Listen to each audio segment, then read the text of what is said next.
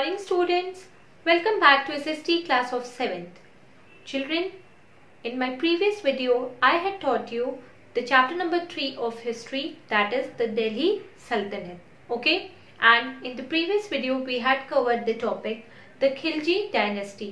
So हमने अपने previous video में Khilji dynasty के बारे में पढ़ा था. Now in today's session I will be uh, telling you about the Tughlaq dynasty. okay we will proceed further. And this is our subject enrichment chapter. So children let's start it. Let's get started with our class. Okay? So the Tughlaq dynasty ruled nearly for about 100 years. So it ruled for about 100 years. And the rulers of the Tughlaq dynasty are Come to page number um, 31. First one is Ghiyasuddin Tughlaq. He ruled for 1320 to 1324. Ghiyasuddin Tughlaq was the first ruler of this dynasty. He was the first ruler of Tughlaq dynasty. He strengthened the Sultanate by crushing rebellions. Jona Khan, his son, succeeded him and was given the title of Muhammad bin Tughlaq. So, जो Ghiyasuddin Tughlaq he was the first ruler of Tughlaq dynasty and his son the name was Jona Khan uh, succeeded him and he was given the title of Muhammad bin Tughlaq right?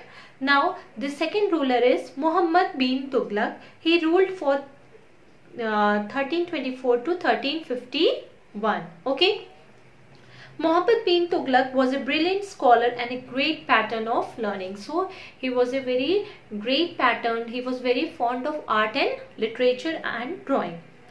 He was so genius uh, that he was ahead of his times when it come to formulating policies. और अगर policy की बात करें, so he was so genius that whatever policies uh, the others ruler used to frame, he used to frame it before them.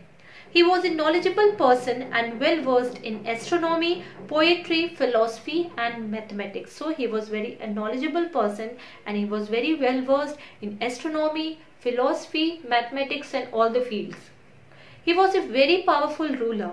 He had a high sense of justice and had an open and progressive mind. So he provided justice to each and everyone and he was very open-minded man.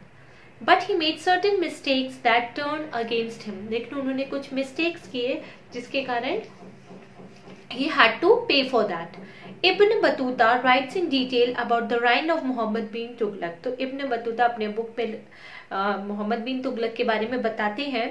He tell us that the sultan did not give overwhelming power to the ulemas So what is ulema? Ulema is a board of Muslim scholars who had a knowledge about the Islamic law and theology तो इस्लाम के जो भी rules हैं, जो भी theology है related to God है, जो उलेमा एक तरह से बोर्ड है मुस्लिम स्कॉलर्स का तो वो उनको क्या करते थे?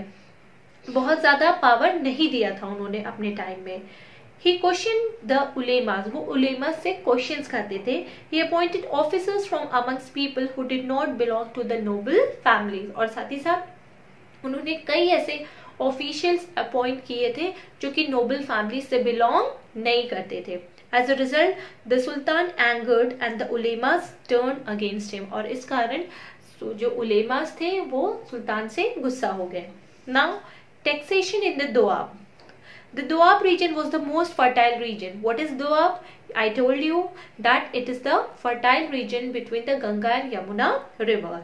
It yielded good quality crops. The Sultan raised the land tax in Doab region for increasing the revenue collection. तो वो region बहुत fertile था इसलिए उन्होंने टैक्स भी वहाँ से बहुत ज़्यादा कलेक्ट करना शुरू कर दिया but the time was not right it was the time of severe famine लेकिन जब उन्होंने टैक्स कलेक्ट करना स्टार्ट किया तो that was not the right time because उस टाइम बहुत ही सीवियर फेमाइन आया था। फेमाइन मीन्स सूखा। फेमाइन मीन्स सूखा। ठीक? The farmers were not in a position to give such high revenues और उस टाइम फार्मर मतलब आप कह सकते हैं, अकाल आ गया था। तो farmers were not able to pay the revenue As a result, a large number of peasants abandoned their land and went elsewhere while some others revolted. और इस कारण क्या हुआ? कुछ ऐसे फार्मर्स थे उन्होंने वो अपनी ज़मीन छोड़ दी और दूसरी जगह चले गए और कुछ जो थे उन्होंने रिवॉल्ट विद्रोह करना शुरू कर दिया। As a consequence the sultan family discontinue the major और इसके कारण उन्हें वो स्टेप हटाना पड़ा रेवेन्यू कलेक्शन का। Now shifting of the capital कैसे उनका कैपिटल शिफ्ट हुआ? Another mistake was the sultan decision to shift the capital from Delhi to Devagiri which he named Daulatabad और अनदर मिस्टेक जो उनसे हुई थी, वो क्या थी कि उन्होंने अपना कैपिटल दिल्ली से शिफ्ट करके देवागिरी कर दिया, जिसका नाम उन्होंने दौलताबाद रखा in the year thirteen twenty seven the decision spelt out shifting of the royalty among the common people this was not only impractical but highly expensive for the royal एक्सकर और इस कारण जो रॉयल uh, एक्सपेंसेस थे वो क्या हो गए? बहुत ज़्यादा बढ़ गए। And it was not liked by everyone okay children now come to page number thirty two this place had a central situation being about equidistant from Delhi Gujarat Lakhnauti Satgaon Sunargaon Telangana Malabar द्वारा, समुद्र and Kampila. और जो ये दौलताबाद था, वो equi distant पे था। सब इतने एरिया से इक्वी डिस्टेंट पे था। Without seeking any consultation from his nobles and without carefully looking into the advantages and disadvantages, he brought ruin upon Delhi which had grown in prosperity from 170 to 180 years and was compared to advanced cities like Baghdad and Cairo. तो बिना उन्होंने Nobel से consult किए बिना advantages और disadvantages को सोचे हुए उन्होंने अपना कैपिटल को दिल्ली से दौलताबाद शिफ्ट कर दिया जो कि बहुत ही गलत डिसीज़न था, क्योंकि उस टाइम दिल्ली 170 टू 180 इयर्स में बहुत ही डेवलप हो गई थी अदर सिटीज़ के मुकाबले, जैसे कि Baghdad and Cairo according to the historians What prompted the Sultan to take this step was the centralized location of Daulatabad and the threat of Mongol raid on Delhi. और उन्होंने ऐसा step क्यों लिया क्योंकि उन्हें लगता था कि जो दौलताबाद है, वो एकदम सेंट्रल में है, सारी जो प्लेसेस हैं, वहाँ से इक्वी डिस्टेंस पे पड़ेगी और साथ ही साथ उन्हें ये भी डर था कि मंगोलियंस दिल्ली के ऊपर रेड न कर दे।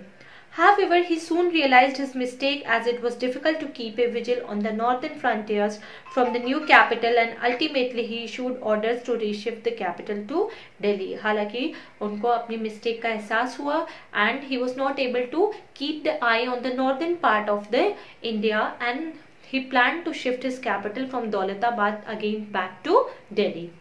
Introduction of token currency. The introduction of a new token currency was a Himalayan blunder committed by Muhammad bin Tughlaq.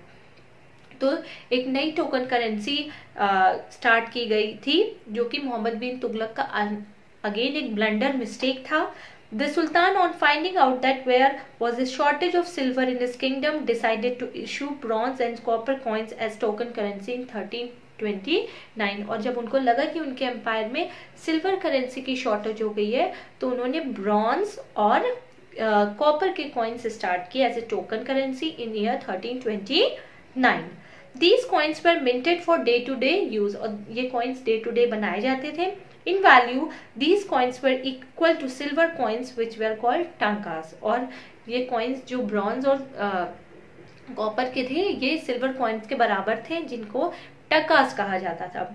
With these copper and bronze coins people could buy the same amount of wheat rice और oil as they could buy with the silver taka और इसी coin से, जिस, जैसे कि वो silver coin से खरीदते थे, वो सारी चीज़ें ग्रोसरी हैं फ़ूड आइटम्स हैं वेजिटेबल्स हैं सब कुछ खरीद सकते थे The Sultan issued an order that they could be exchanged for silver coins at any time from the royal treasury. और सुल्तान ने ऑर्डर दिया था कि जो ये कॉपर कॉइन्स और ब्रॉन्ज कॉइन्स है, अगर लोग चाहें तो इनको रॉयल ट्रेजरी यानी सरकारी खजाने से राशि राज़ी सी खजाने से एक्सचेंज करके मतलब कॉपर कॉइन दे के सिल्वर कॉइन्स ले सकते हैं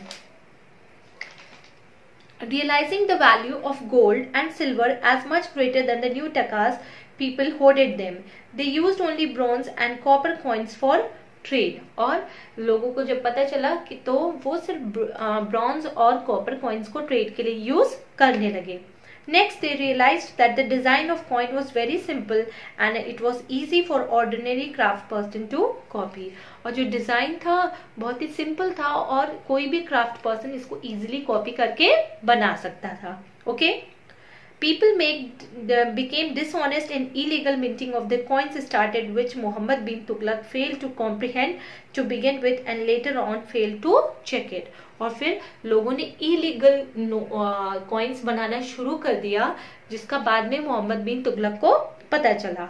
As it was bronze and copper were cheaper than silver and easily available people thought this metals in the bulk and start and coins even at home और क्योंकि as compare to silver जो copper और bronze था, वो काफ़ी सस्ता metal होता है और लोगों ने घर पे ही कॉइन्स बनाना शुरू कर दिया।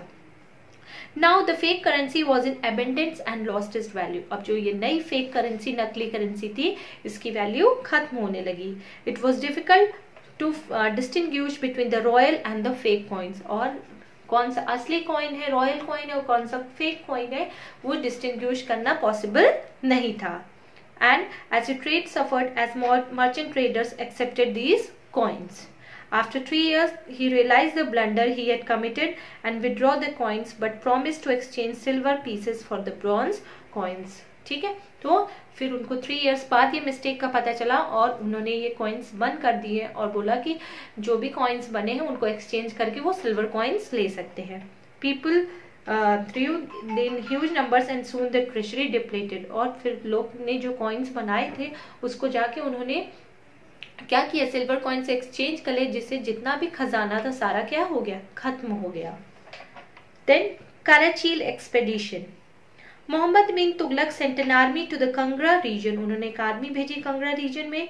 This was done to secure the northern frontiers of the Sultanat और ये नॉर्दर्न फ्रंटियर्स को प्रोटेक्ट करने के लिए भेजा गया। This region was easily annexed by the army then the army proceeded towards और फिर ये रीजन को जीतने के बाद आर्मी तिब्बत की तरफ़ बढ़ गई। But this decision proved to be fatal as it incurred heavy casualties and was extremely expensive. और ये क्या हुई? जानलेवा सिद्ध हुई, क्योंकि बहुत ही ज़्यादा एक्सपेंसिव था।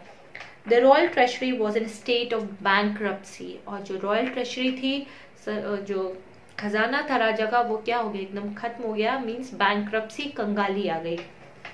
Now Khurasan expedition Mohammad bin Tughlaq wanted to conquer Khurasan in Central Asia so Mohammad bin Tughlaq Khurasan को कॉन्कर करना चाहते थे, जो कि सेंट्रल एशिया का एक पार्ट है।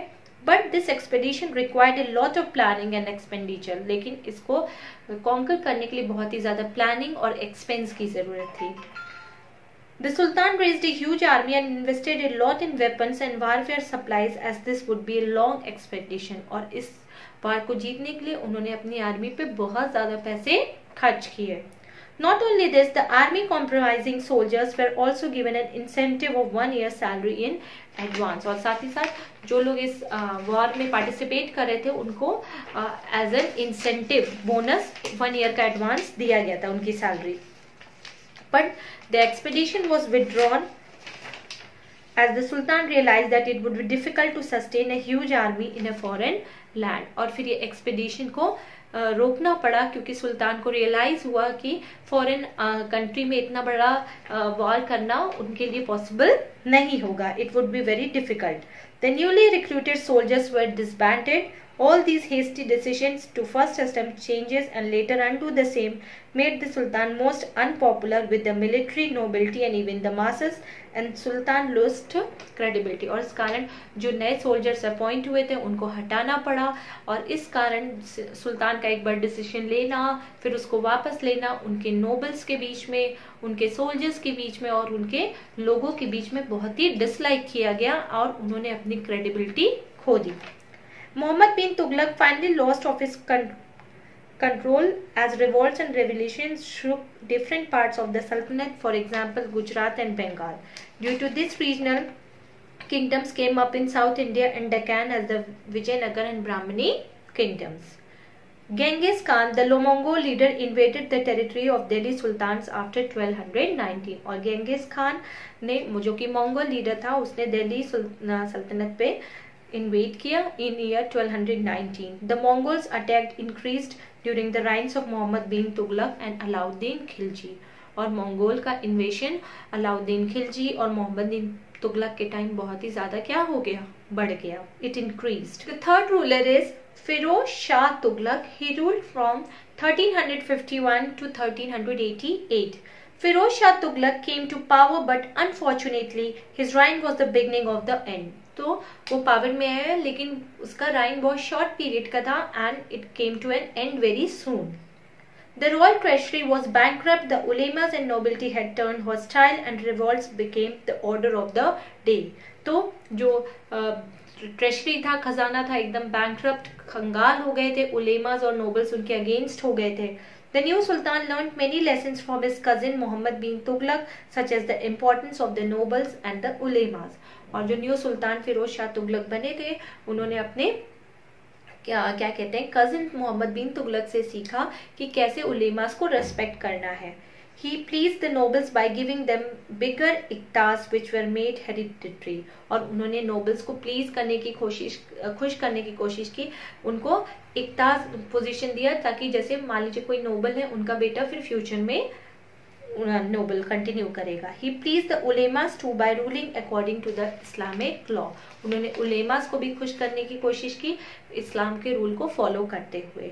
Reforms now what changes he brought Firoz Shah Tughlaq was a very successful as a reformer अगर रिफॉर्मर की बात करें so he was very successful his reign saw the construction of many canals wells tanks rest houses and hospitals He also founded some new towns such as Firozpur, Firozabad and Hisar Firoza. उन्होंने कई new towns Firozabad Firozpur और Hisar Firoza develop किया the sultan is famous in history for laying gardens in and around Delhi Plenty of grains and fruits were grown as he laid 1200 gardens और खूब सारे gardens को उन्होंने establish करवाया He set up many educational institutions also. He was a tolerant ruler and looked into the progressive growth in all the spheres.